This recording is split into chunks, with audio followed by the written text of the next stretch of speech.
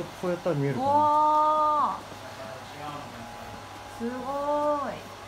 今までないかもしれないこんなのはそうですね。絶対慣れないと思ってた感じだ。ああそう。今までなんかなんつうの硬いうんうんうん。なんか赤みがどうしても出ちゃうっていうか、ん柔らかい感じできなかったですよね、うん。すごい。さすがですね。ここ可愛くなってなんか髪の色がなんか柔らかそうに見えるっていうか、いいと思うんだよな。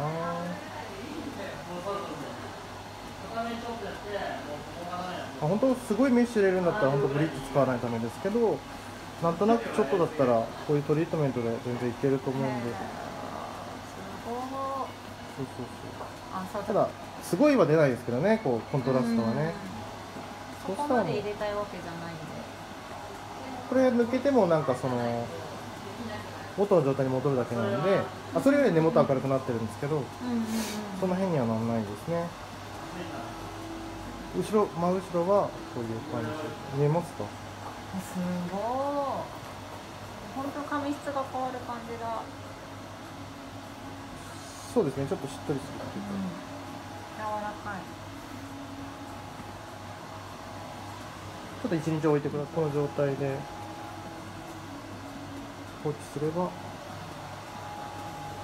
なんか逆かかけても良さそうです